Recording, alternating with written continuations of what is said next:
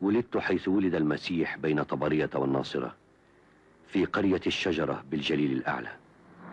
أنا ناجي العلي رسام الكاريكاتير العربي من فلسطين. عاقدا كفيه بملابسه الرثة مستاء منذ النكبة والنكسة. حنظلة. ما زال قويا متينا كصخر فلسطين يشير فقط إلى الشهداء إلى ناجي العلي في ذكرى اغتياله من قبل الموساد الإسرائيلي عام 1987 في لندن. ناجي العلي صاحب الفكرة والضمير الحي فينا. الحنظل يعني من خلال المرارة دائما الحقيقة بتضل مرة. حاولت هيك أنسجها بذهني لقيت أنه مقبول هالاسم له آه، اسم زي شكله يعني.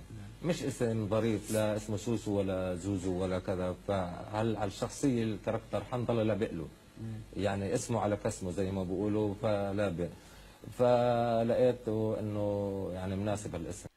ولد فنان الكاريكاتير رسام الجرح الفلسطيني العميق ناجي العلي عام 1937 في قرية الشجرة الواقعة بين مدينتي طبرية والناصرة في الجليل. وأنتج العلي أربعين ألف رسم كاريكاتوري أسفر عن سعة شهرة الفنان ورسومه في أرجاء الوطن العربي.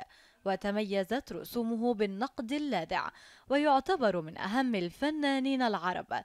وكان لدى ناجي شخصيات أخرى رئيسية تتكرر في رسومه كشخصية المرأة الفلسطينية التي أسماها ناجي فاطمة. في العديد من رسومه فلقد عاش العلي قريبا من الناس والتصق بوجعهم ونقله. وأبرمج بعض قضايا ممكن تكون أفكار بسيطة بس بتسجل المواقف مش ترفيهية بالذات منسجمة مع الكاريكاتير. وأخيرا لقيت لقيت لغة ثانية هي لغة الرسم. نعم. فلأنه كان حب الرسم عندي من صغير ولقيت أنه اللغة كثير ذاتية وذات قيمة وفائدة وبتنوصل في مسرح دائم مع مع الجماهير يعني. إنه إلي حضور من خلال هالزاوية هذه هو هذه خشبة المسرح تبعي. فعم بطرح أفكاري وبتواصل مع الناس بشكل يومي.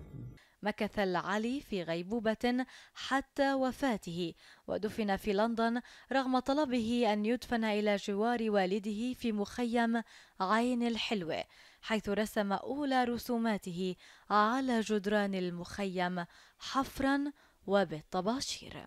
لتلفزيون فلسطين ياسمين شملاوي.